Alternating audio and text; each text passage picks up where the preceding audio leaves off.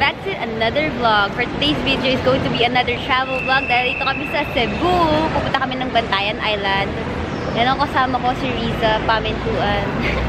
sila Andrea, um, susunod sila kasi 10 pa yung dating nila. E na, maaga kami, 6 a.m. nandito na kami.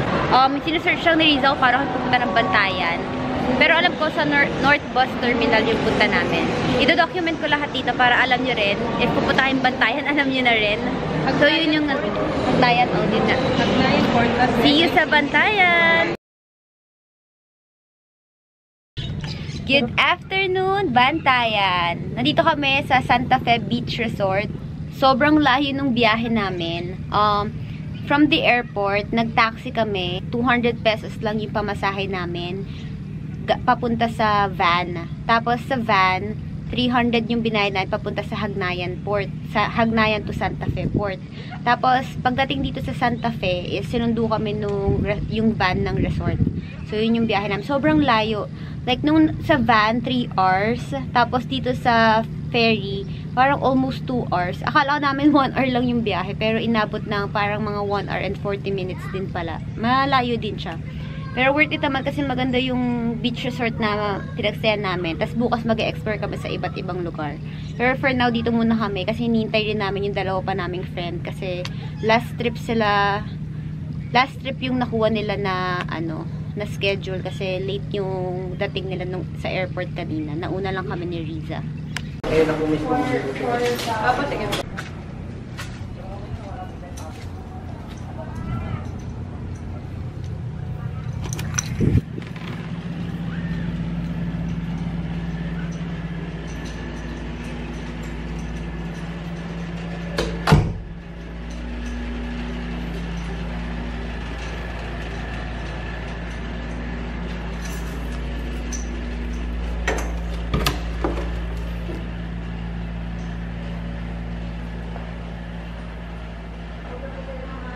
Malayo. Ito yung itsura ng resort namin sa gabi. Ang ganda. Ipailaw sila. Tapos pwede kang mag-dinner dyan.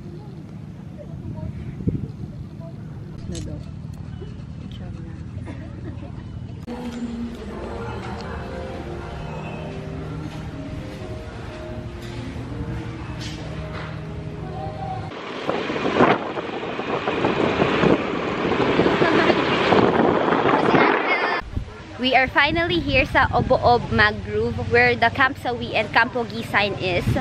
So, mamaya pupunta kami dyan. May entrance fee daw yan. So, iti-check natin mamaya.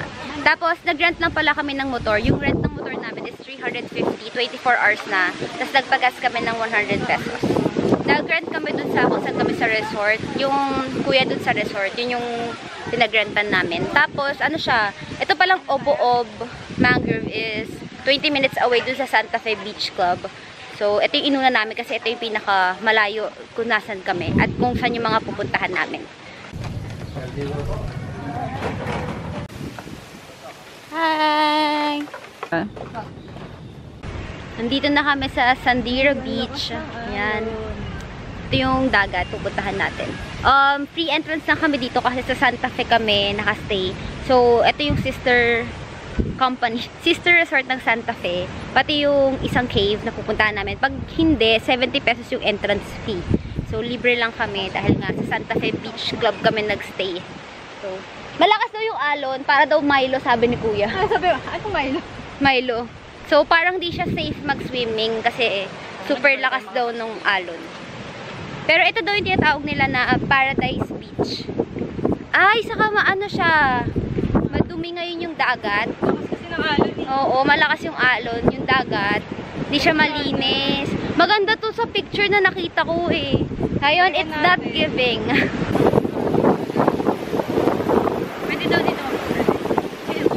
May kami nga. Nandito na kami sa The Ruins. Ito lang siya, sa may highway. Yan yung ruins. By the beach. Lakas ng alon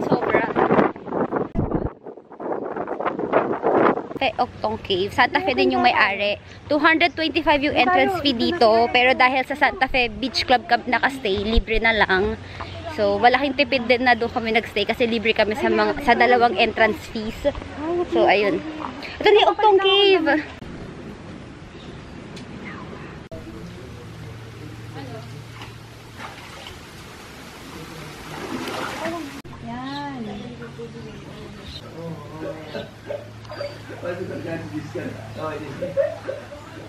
Katapos lang namin mag-swimming sa Oktong Cave. Tama ba yun? Oktong Cave. Um, kakain naman kami. Dito lang din siya sa Santa Fe na Oktong Beach Resort. Yan. Dito. Sila yung may-ari. Kaya free yung entrance namin. Dito na rin kami maglo-lunch. Um, Nag-swimming kami. Dito kami maglo-lunch. Mag-order kami ng mango shake. Ano to? Pork something. Fried pork. Fried pork. Calamari. Tapos rice. Tapos meron din fish. Ayun. Kain tayo. Tapos na kami kumain ng lunch. Ngayon maglilibot kami kasi magsiswimming ulit kami dun sa cave. So, ito yung buong resort. Yan. Ito yung restaurant. Dito kakain. Tapos may pool dito. Yung beach nandito na. Yan. Tapos may mga cottage dyan. Tapos pwede kayo umupo. Ito na yung cave. Dito rin siya sa resort. Dito no. Dito na yung entrance ng cave. Good afternoon guys.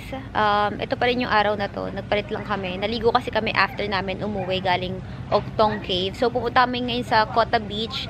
Doon naman kami magde-dinner ngayon. Um, saka mag-happy hour.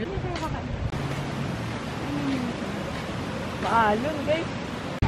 Dito na kami sa Kota Beach. Um, walang entrance fee. Hindi kami siningil ng guard. Wala sinabi.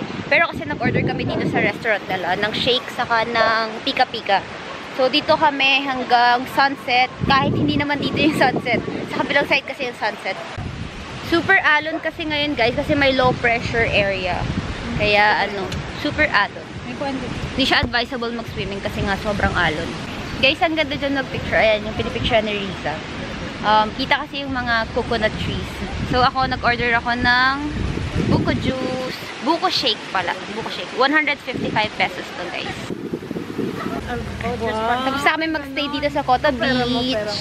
Yan. Ah. Tagal din namin nag-stay dito, mga 2 hours. Nagkakwentuhan kasi kami kaya tumagal.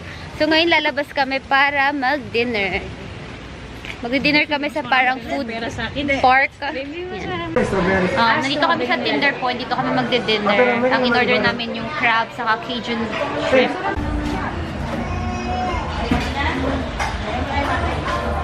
Good morning! Island hopping kami today. So, nagpumotor lang kami papunta doon sa um, port ng bangka kung ano yung sasakyan namin.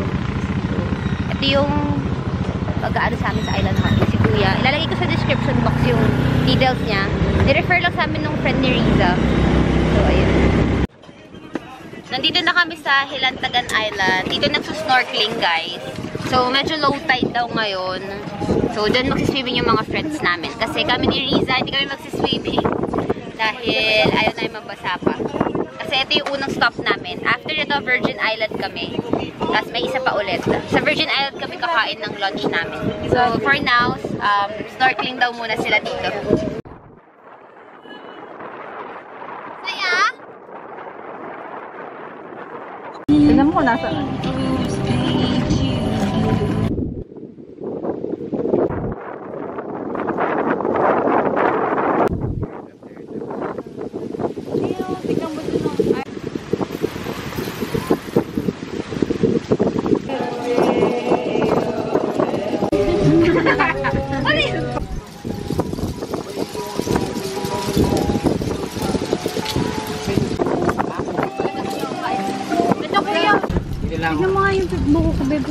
Siya magpipicture sa atin. Dito na kami sa By God Lagoon, also known as Secret Lagoon.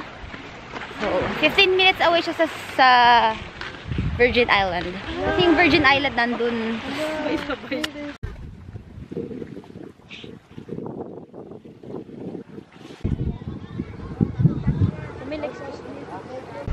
Guys, ang ganda dito. Ang daming spots na pwede nyo picturean.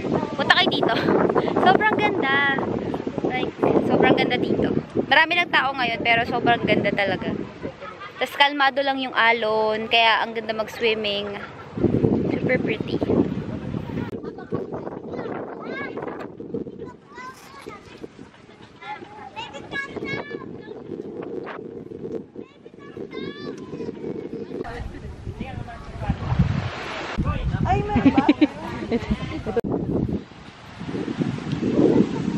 Guys, nakabalik na kami sa hotel. Yung island hopping pala, yung nagastos namin is, unang-una yung 925, yun yung tatlong islands. Tapos yung mga entrance fees, kasi may mga entrance fees dun sa mga island. Pangalawa, nung sa Virgin Island, um, 500 pesos yung cottage. Mas marami talaga, ay, mas maganda if marami kayo, para mas marami kayo maghati-hati. Tapos, yung paluto kay kuya, kasi nagbigay kami ng 2,000 kay kuya, para bilhin yung crab, shrimp, yung isda, yung scallops, yung rice.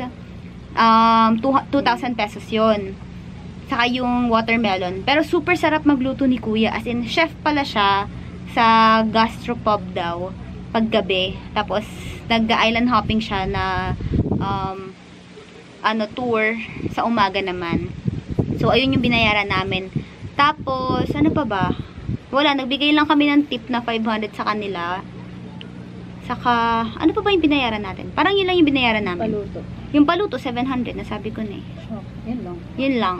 Yun lang yung binayaran namin. All in all, masaya naman yung island hopping. Maganda yung mga places na pinuntahan namin. Sobrang enjoy siya. Ayun lang. Mas maganda siya pag marami kayo kasi mas marami kayo maghahati-hati para hindi mabigat yung gastos. Kasi kami apat lang kami. Pero niyo 700 yung paluto. Tapos 500 yung cottage. Medyo mabigat na if apat lang kayo maghahati-hati. So, mas maganda talaga pag marami. Guys, yung sa island hopping pala, nagbayad pala kami ng 100 pesos na environmental fee.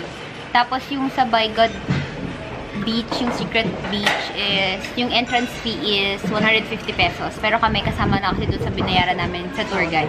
Para lang alam nyo. So, order kami ng ube, halo-halo. Dito lang sa Santa Fe Beach Club. Dito pa rin kung nasa kami nakastay. Okay lang yun. Haluin natin. Back, no? Okay. Hindi, ma. Sabihin ko sa Mm. Sarap. Bakit? Para siyang ano, ube ice cream. Ube ice cream ata. Bakit? Nasaan kayo? Cheese nga yun. Uh, pupunta kami sa oldest church daw dito sa Bantayan. Tapos, dire-diretso na yun hanggang dinner. It's magpa-4 ata ng PM, 4 PM. So, ayun. Kabilang side ba naman? Diyos ko. Guys, andito pala kami sa oldest church sa Mindanao and Visayas. Ito yung St. Peter and Paul Parish Church. Ito siya.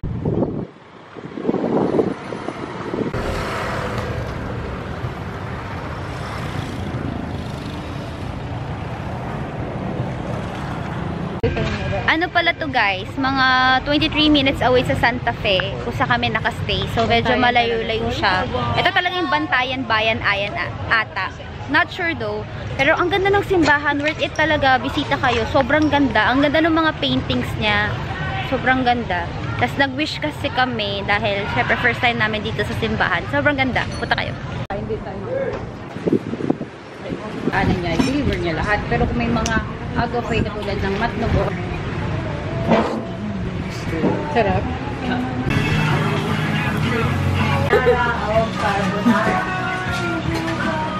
Maganda may gawa yung pasta. Aso. Dito na kami sa beach resort namin. Namin, doon sa, kung sa kami nakastay. Bumili aso lang kami ng isaw sa labas. Tapos dito namin kakainin. Yan. Tapos nagiinom lang sila. Kumain siya ng... Mga dalawa na ako. Nagdalawa lang naman talaga tayo. Ah. Kaya nga, siya ang sabi ko lang. Ah, gusto mo tikman yung ano? Chorizo. Oo, tikman mo. Matamis yan. Ah, talaga ba?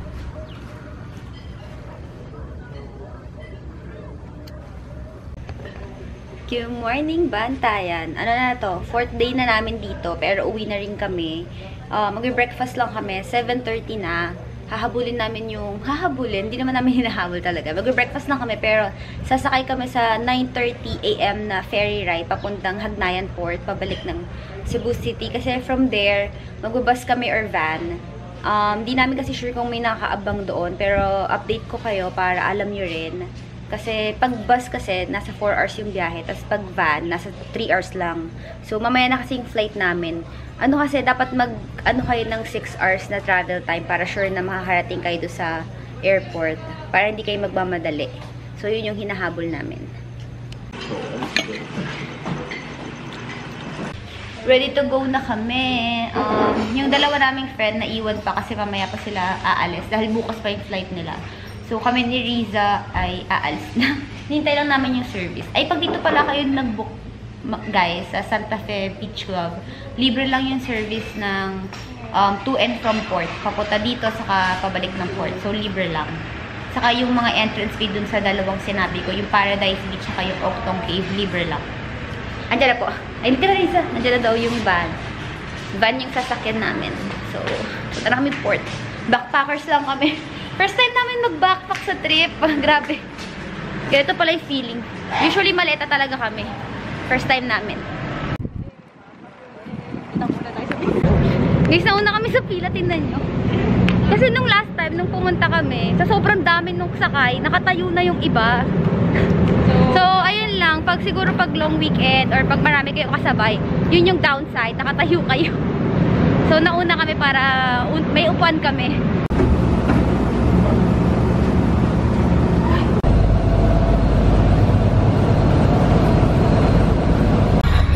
Nakasakay na kami sa van. Um, ganun pa rin yung biyahe. 1 hour 40 minutes sa port. Sa dalawa.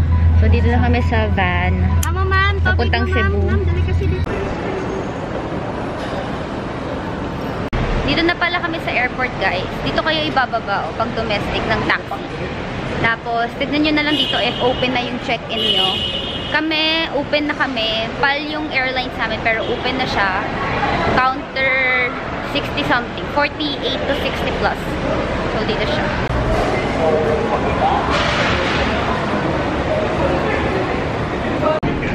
Kaya pala may bar. Guys, level up na yung airport talaga dito. Barcode, di barcode na sila. Pag niscan mo yung barcode mo sa boarding pass mo, um, mag-open yung gate. Doon ka na pwede pumasok. Ayun lang. Ang ganda. First time ko dito sa Cebu Airport nang ganito na siya kaganda. Dati kasi 2018 hindi naman ganito eh. Ganda dito. Ang laki. Ang daming, ka ang daming kainan. Kahit magpasok mo doon sa gate mo, ang daming kainan. So, hindi ka magugutom. So, that's it for the vlog. Lahat ng details, expense, and itinerary, lalagay ko sa description box sa baba para ma-check nyo rin if ever pupunta kayo dito sa Bantayan Island. Thank you so much guys for watching. Stay safe guys and always wash your hands. Bye!